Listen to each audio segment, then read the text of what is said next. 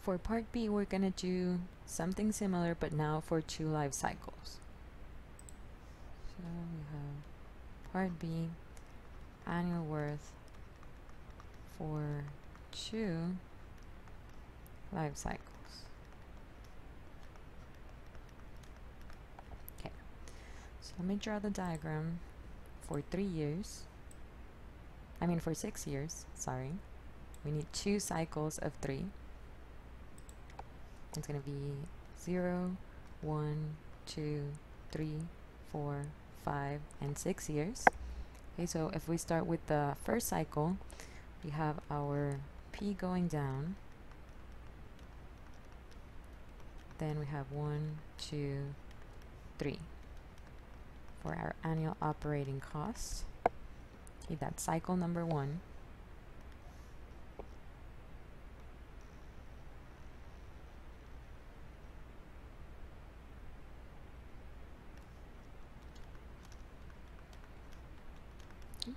And then let's start with the second cycle. Remember, right where you finished your first cycle, that's when you start the second one.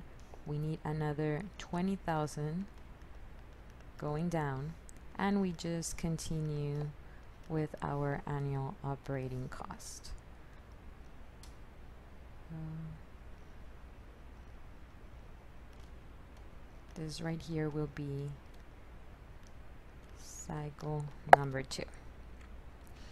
Okay, so let's start uh, putting our equation together. Annual worth will be equal to the minus 8,000, which is already in A, so we do not need to worry about that. Then let's distribute this one amongst all six years.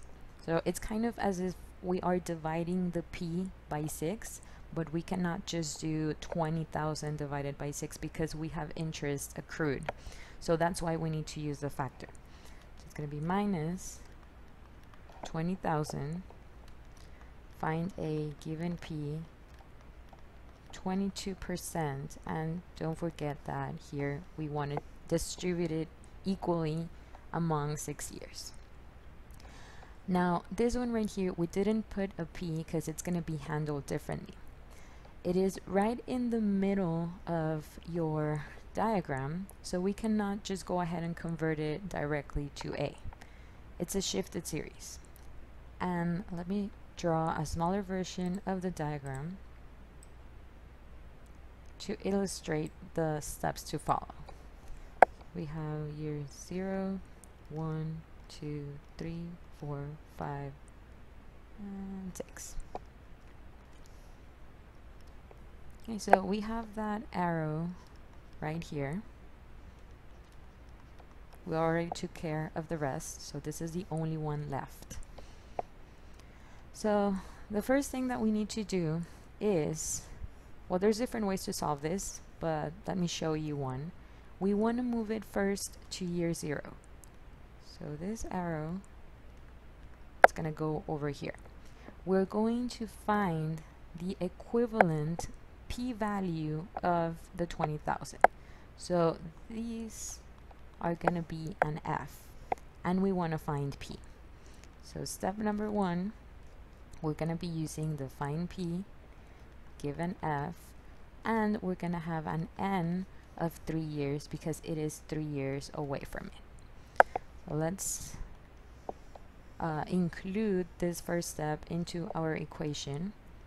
So we have the minus 20,000, find P given F at 22% for N3. Whichever value you find, okay, it's going to be this arrow right here. And once you have it there, it's going to become a P, just like this one. And then the next step is to distribute it.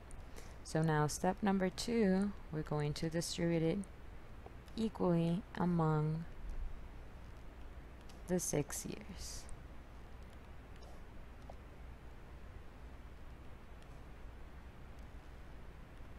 Okay, so this would be step number two. We're going to be using the find a given p factor and now our n is going to be six years. So you do not need to solve this one and then do step number two. Okay, you can just add it here, a second factor to it. So it's going to be find A given P 22% and 6 because it's as if you're already solving this one. This is the arrow and then you multiply it times the second factor. So we have here step 1 and step 2 for your reference to this diagram. And if we solve for all of this, so plug in these two factors, multiply this times this times this, and then the rest, you should get, guess what? Minus $17,793 per year. Which is exactly the same as the result from part A. So why is that? Because we just keep adding the same amount of years. So let me give you an example. Let's say you have a pizza with eight slices and you have eight persons. So how many slices um, is each individual person getting? One. If we buy a second pizza with another eight slices and we invite another eight people to join, well, we have a total of 16 slices and 16 people. So same thing, they end up getting one slice per person. This is the case here. So this is why you do not need LCM because if you were to repeat the cycles, if we added a third cycle and we distribute everything equally uh, among all three cycles, then we would still get the minus $17,793 per year.